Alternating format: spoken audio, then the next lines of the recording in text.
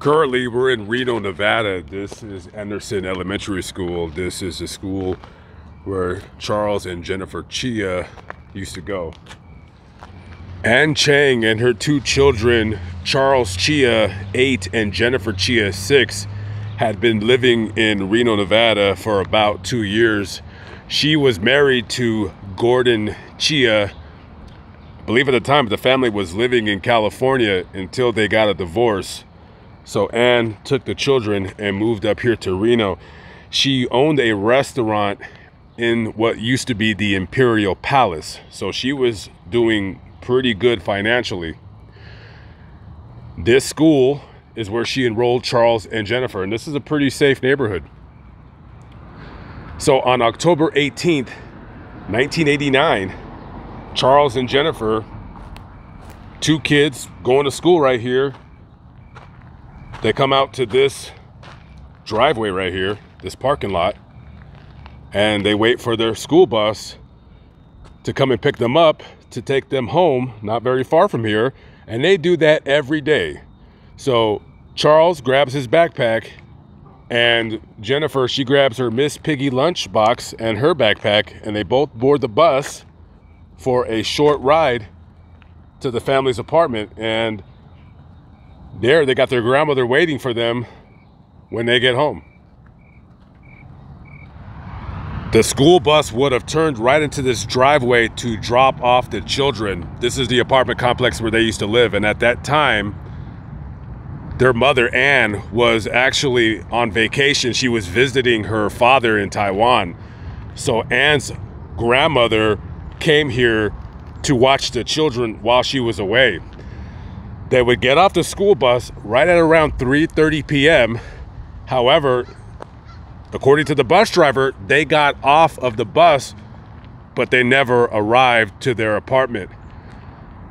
Around 5:30 p.m., Ann's grandmother calls the police. Now she doesn't speak any English, so the communication was a little bit difficult. But finally, they find somebody that could communicate with her, and she says, "My grandchildren haven't arrived from school, and I'm getting kind of worried." Now, about this time now, it's already getting dark, or practically is dark.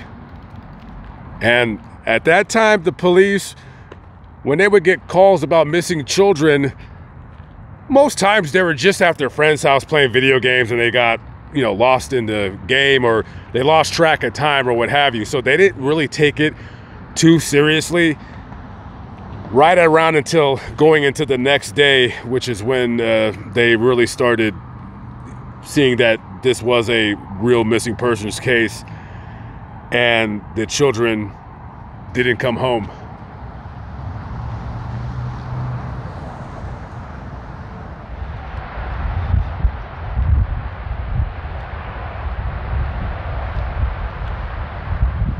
Immediately after Anna was notified that her children did not come home from school, she immediately caught the next flight back to the United States when she came back, she was also told by some of the restaurant employees and the police that while she was gone, somebody had called her restaurant and told them that they had their children and that they wanted a $100,000 ransom.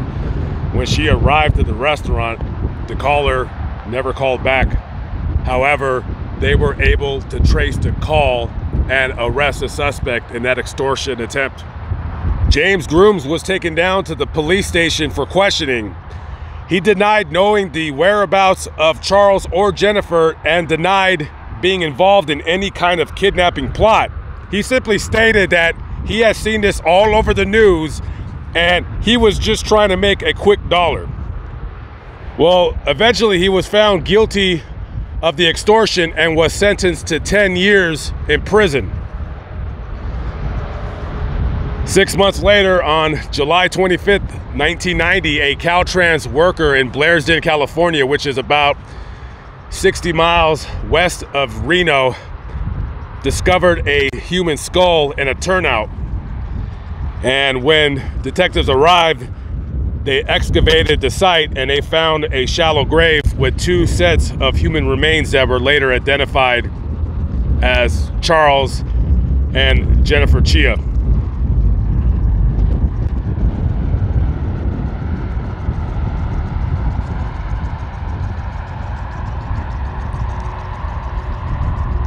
As you can see on the stone, their kidnapping date is put as their death date.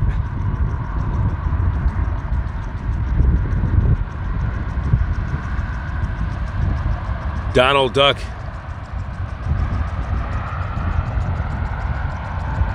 And Cinderella.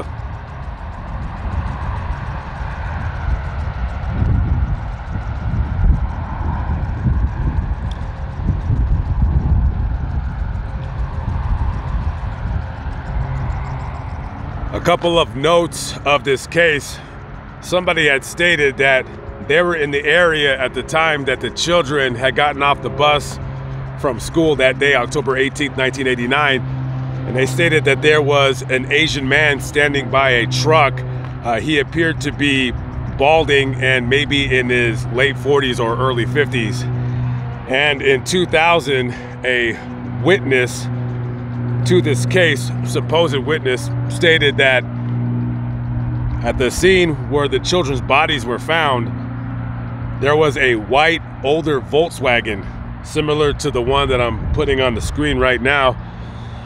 And when authorities did a DMV records check, they found that a white, older Volkswagen was owned and operated at one time by James Grooms. And they went to go question him. And this was, I think, right around the time he was set to be released.